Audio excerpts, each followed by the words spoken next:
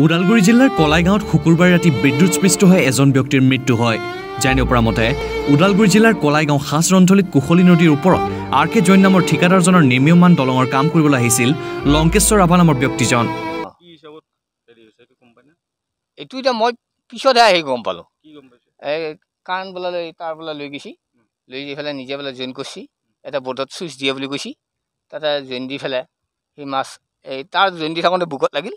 বুকত লাগোঁতে সি বাগৰি পৰিছি তাৰ মিস্ত্ৰীয়ে যাই পেলাই থাপ মাৰি দিছি বাহাই দি তিনি কোব দিছি। জইন কৰিছে গুণাতাৰত জইন কৰিছিল।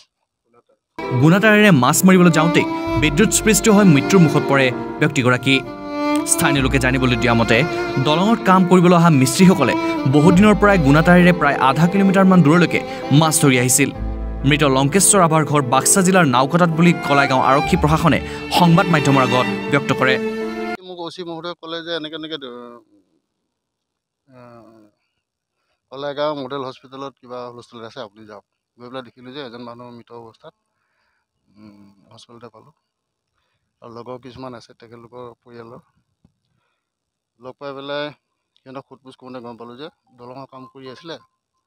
কাম কৰি থাকোঁতে এনেকৈ কাৰেণ্টৰ চৰ্ট লাগি মৰিলে। ডেড বডিটো মই লৈ গ'লোঁ থানালৈ।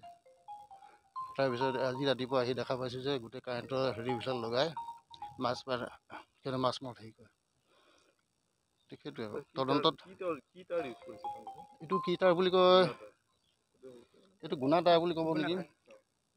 তেনেকুৱা টায়াৰ দি পেলাই ওদালগুৰিৰ পৰা আব্দুল মজিদৰ ৰিপৰ্ট নিউজ নেষ্ট।